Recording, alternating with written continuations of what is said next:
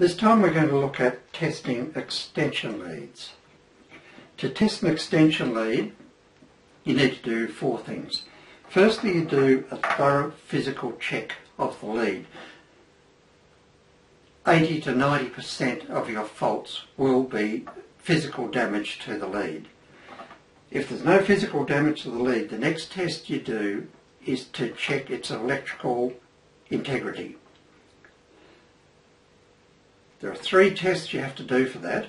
The first test is to test the resistance between the earth pin going in and the earth pin coming out. Then you have to check the polarity. Now the polarity simply means that it's polarized. The active there is the same as the active coming out there. The wires haven't been changed over in the process.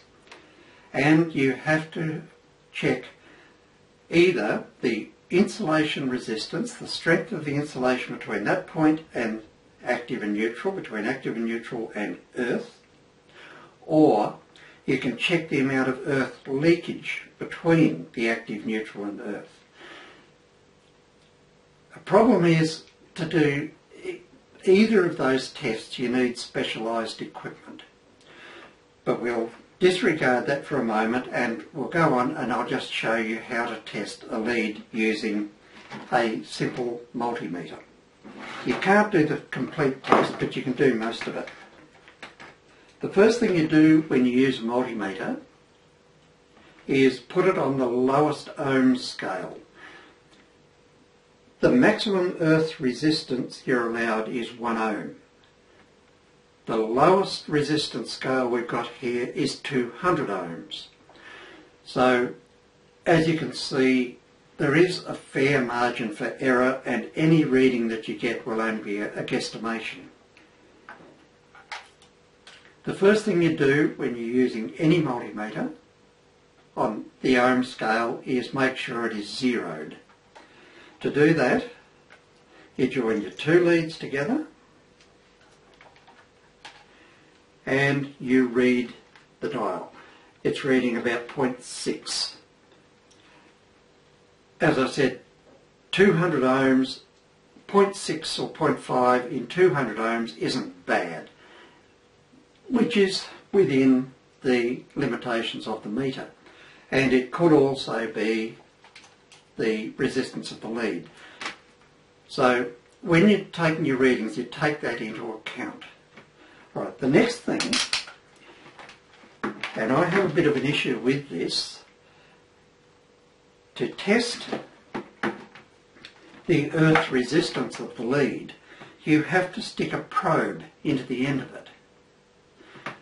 The danger there is I don't like anybody sticking probes into anything. It's like going to a PowerPoint and sticking your probe in because there is always a possibility that you've got the wrong end of the lead. And the only way to be absolutely certain of that is to run your hand down the lead and have the whole lead in your hand at the same time. The only way to be absolutely certain of that is to run your hand over the whole lead. When you do your physical check, you'll be doing that anyway make sure that the plug that you've got is connected to the other end of the socket that you've got. Because if it isn't, there's a possibility that the other end could be plugged into 240 and I've seen it done, I've done it myself. I must admit I've done it myself. I've tested the wrong end of a lead and anybody who's done the um, test and tag course will see that in one of my one of the lessons. Okay, the, so assuming you have the right end of the lead, so the next thing you do to test the earth resistance, you clamp the earth onto the earth pin, you clamp the probe onto the earth pin, and you get your probe and you stick it in there. After you've been absolute certain, oh, I've got infinity, there must be something wrong. Let's see, I've got two leads here on my bench. I got the wrong end. And it is that easy. I've seen it done so many times where people have two or three things on their bench and they test the wrong, the plug on one to the base on the other, or the wrong appliance. They, they test the plug for one appliance and try and get an earth on the other appliance. Never ever, under any circumstances, at any time, have two things on your bench when you're doing your testing. Only ever have one. So, okay, let's go back and do it again. Connect your probe to the earth wire. Take your probe and connect it to the earth. And there I'm reading 1.1 ohm.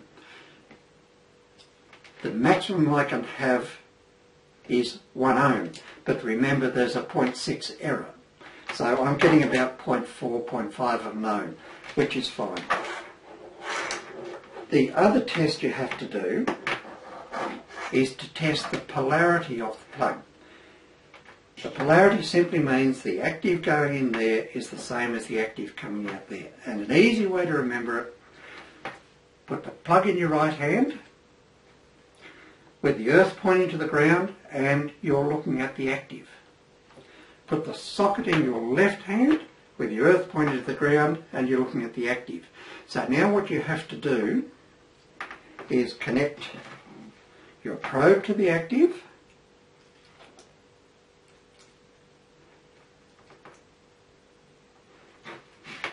and then put your other probe into the active on the other end and there it is. So the polarity is correct. The other test that you have to do is the earth leakage or insulation resistance test. Now you can't do that with a simple multimeter. You need specialised equipment. It can either be a megohmmeter like this, and I'll demonstrate how to do that in a moment, or my absolute number one preference, and I believe this should be really the only way of testing a lead, is a portable appliance tester, commonly known as a PAT. This is one of ours. I just happen to have it on hand. And to test the lead, you simply plug it in that end, plug it in that end,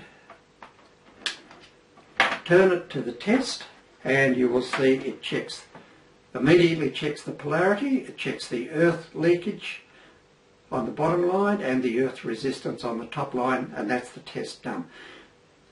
By far the simplest and safest way of doing it. But there's a bit of a problem here. Not all probes will fit into a plug socket. Some of the better probes are organised so that you can fit a clamp onto them, which makes them too big to fit into the probe, into the socket. There's a couple of ways out of that. There is a book out, been out for a few years now, that recommends plugging plug into the back so that you can access the terminals. Great idea.